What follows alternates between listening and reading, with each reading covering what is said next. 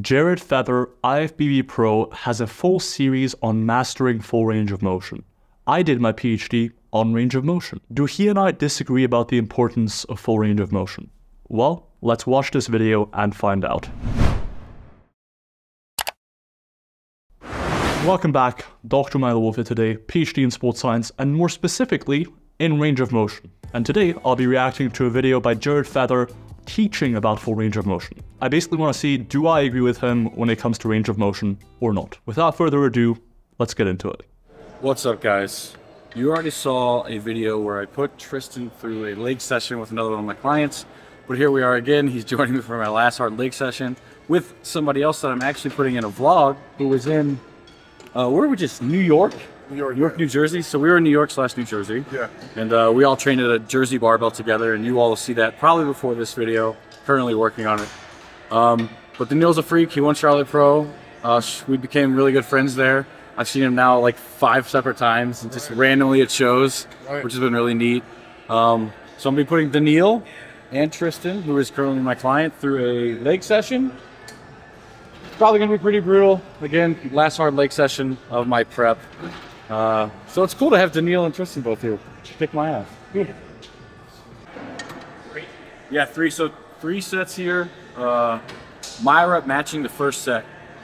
Like 15 to 25 on the first set. It's gonna be pretty hard. I'm subbing this out, guys, for uh, my glute ham raise, which was what was initially programmed on this day. But again, I take out the really super duper essentially damaging exercises and when I'm deep, deep into prep. Since I am a week and a half out and I have had hamstring curls in this mesocycle on the other day, it's not a novelty stimulus.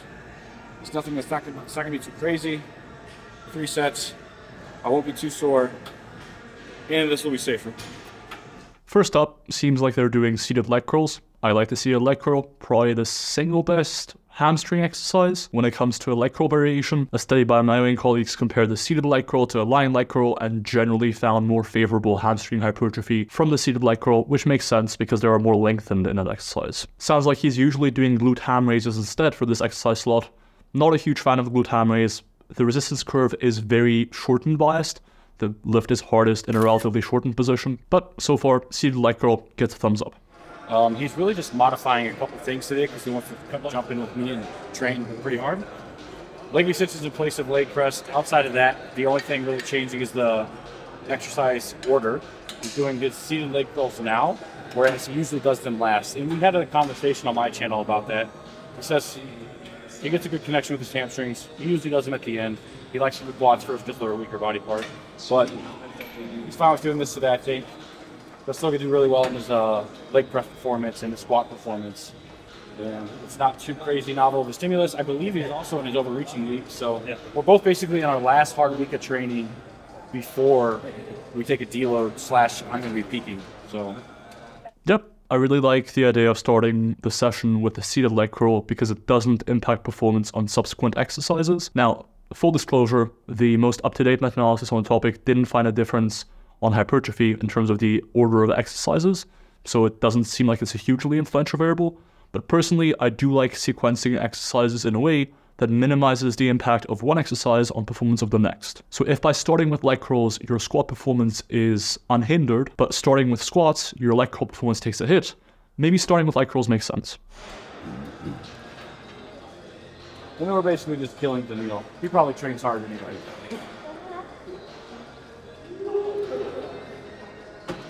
hard anyway. Push it.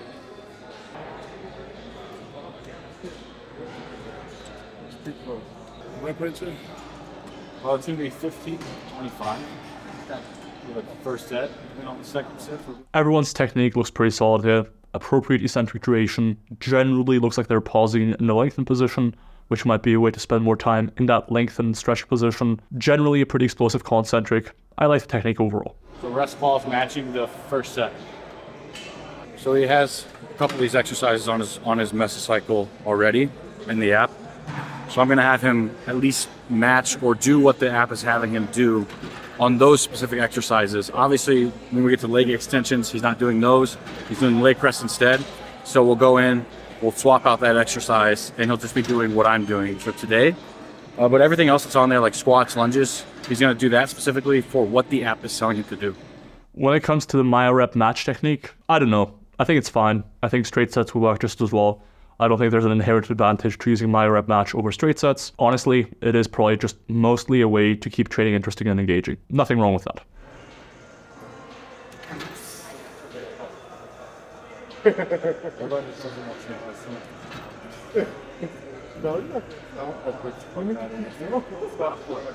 I am.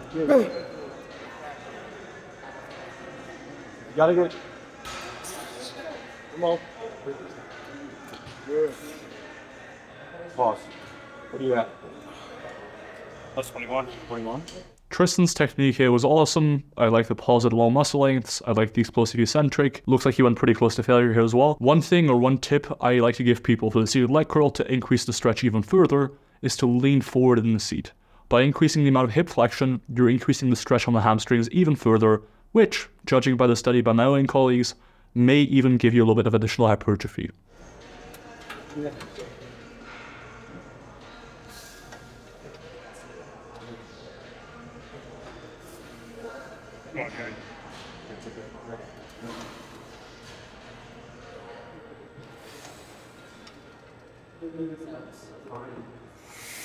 There you go. Get it. Come on. Ah, fuck. You know, you're close to a show and you're fucking 10 headbangs. Broadly speaking, I like Jared's technique as well here. I think he's doing a good job of accentuating lower muscle lengths through the tempo, making sure to pause in a lengthened position. Personally, I like to lean forward to increase the stretch even more. I like to lengthen partials on the leg curl while doing so, but this is pretty solid regardless.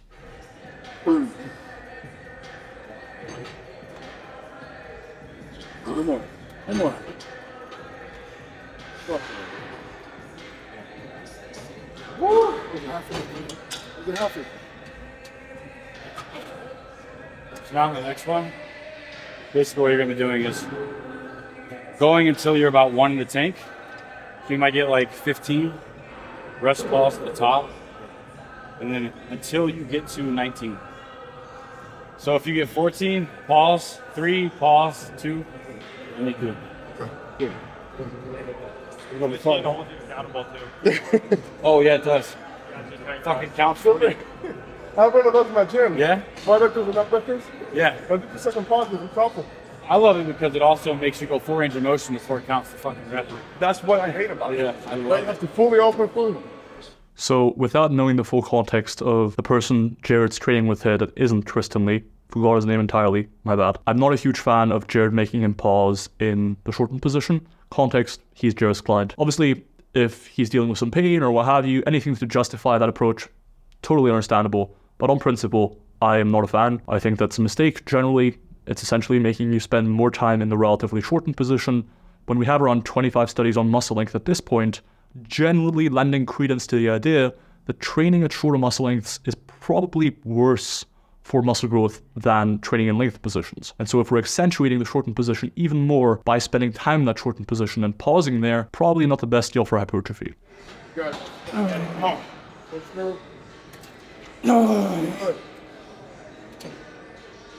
Two more, come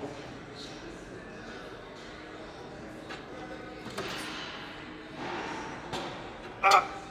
It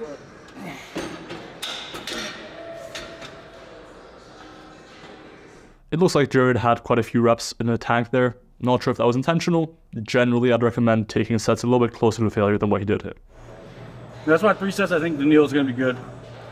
Three sets here, maybe two sets on leg press for you. One or two sets of the squats, and like a set of lunges. That'll be fine. Like you see a lot of people doing like uh, five sets per exercise, seven exercises. Nah, it's ridiculous. You keep injury pretty low like that too. Hell yeah. Focus on mu- muscle activation. Yeah, it's just the technique. Really good technique, slow and controlled, full range of motion. Shit like this, the intensity techniques. We're gonna do a myo-rep match on leg press too. My hamstrings are hurting. So I do think that if your tempo is dog shit, if your range of motion is dog shit, and you go from that to having a more controlled eccentric, say at least a second or two per rep, and all of a sudden you're incorporating the stretch position, you may need to do less volume to get the same overall amount of hypertrophy. But I think he's being a bit hyperbolic here, saying that, oh, you go from needing seven exercises of five sets each to only needing like one or two sets per exercise. I think that's a bit hyperbolic. We're working with everybody's specific anthropometry, which I always talk about. You guys have seen me talk about that a million times. Daniil's a little more narrow. He has really fucking good hip and ankle mobility. So Daniil's a little more low, narrow, you're gonna see in the video. Um, opens the hips really well, gets super deep. Uh, Tristyn's more like me, ankle mobility is not really quite there. That's why he has in the Nikes.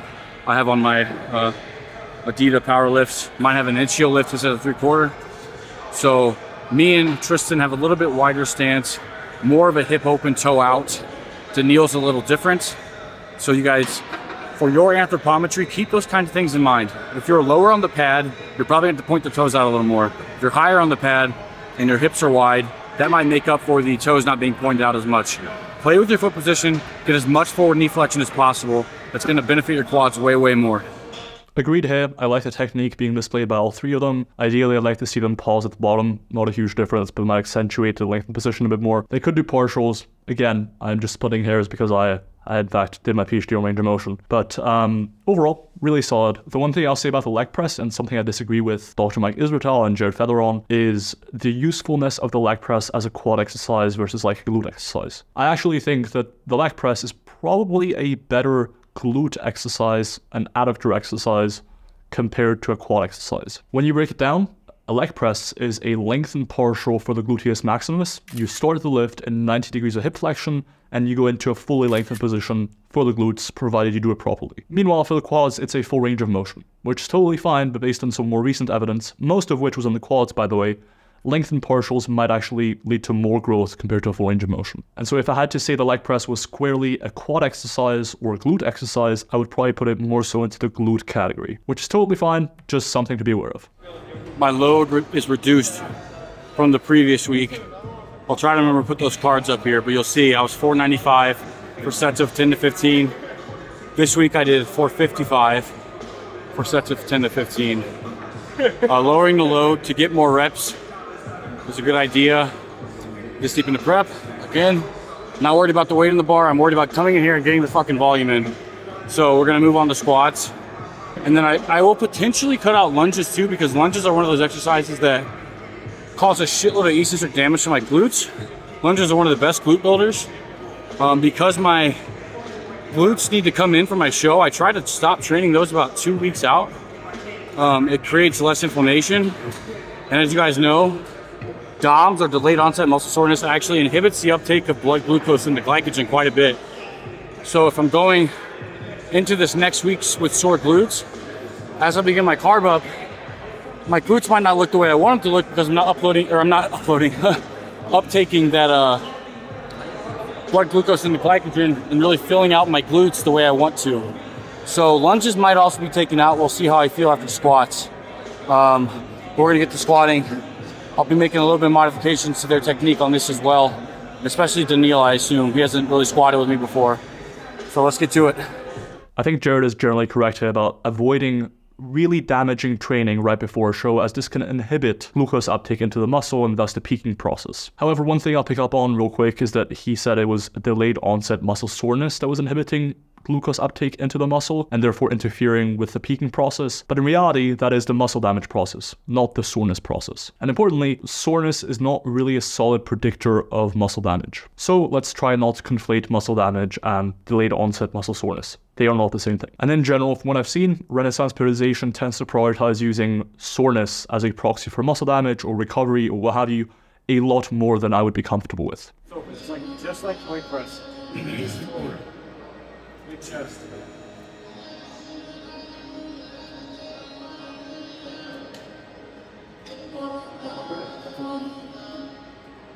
Right. Rock. Up, up, up.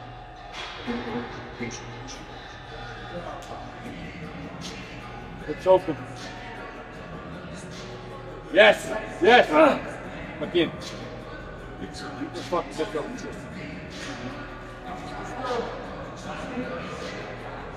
Good.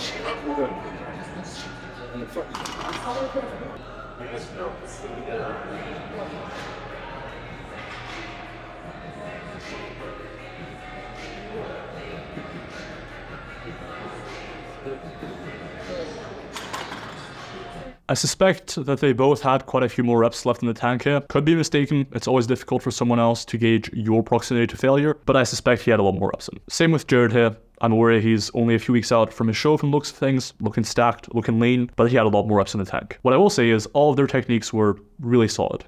Good eccentric, good control at the bottom, even paused at the bottom, really solid squat technique for hypertrophy.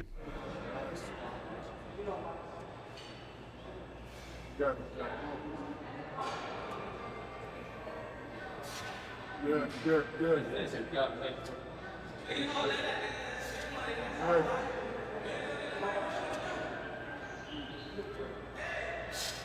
You got this, you got this. Come on, Jared. Good.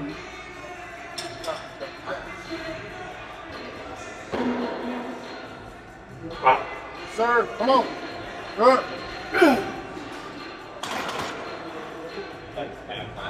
This set of squats for Jared looked a lot better. I'm a big fan of the split squat variation they were showing earlier. I think it's a great way to get really stretched quads, glutes, adductors, get a lot of stimulus in. It's more stable by virtue of holding onto something with the contralateral arm. I personally like holding onto something else as well if necessary, like a rack or anything else really, rather than a broomstick. Using a Smith machine can work instead. Or my all-time favorite split squat variation has to be the safety bar. If you do these split squats with a safety bar in a rack and you're able to hold on to the rack, ooh, you can do some crazy things in there. I'm I'm done. Taking the lunges out, like I said. Um, since I'm not doing my lunges, they actually have programmed Bulgarians, so they're going to do the Bulgarians. I'm to give them those same coaching cues I kind of did with Tristyn last time. We're to see how bad we can hurt uh, Daniil today, guys. It's going to be fun. Uh, and insert Daniil's wincing face here. And uh, let's see what happens. He already looks pretty fucking dead. All right, everyone. That was the session.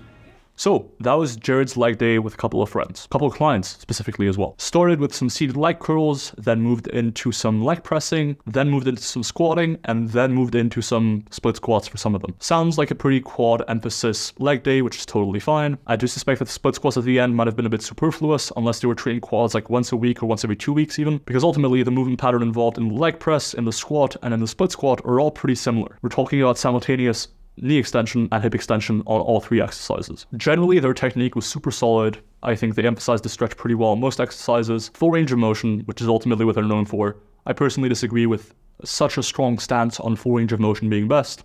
But hey, that is just a difference in opinion. I like the fact that they started off with light curls before doing their quad training. I think a lot of their sets were relatively submaximal, whether by design or not, I'm not sure. Generally, I would have liked to see them take sets a little bit closer to failure for better hypertrophy, but overall, honestly pretty solid. I'd give this like a, a 7 or 8 out of 10. So, that was me reacting to Jared Feather's Mastering Full Range of Motion series. If you enjoyed the video, leave a comment down below letting me know who else you want to see me react to. Leave a like as well, and maybe subscribe and hit the bell. I know like 50% of you aren't subscribed, so I really appreciate it if you hit the subscribe button. Finally, if you'd like me to coach you, consider checking out the link above, and that could become a thing. In the meantime, have a great day, I hope you enjoyed the video, and I will see you guys next time. Peace.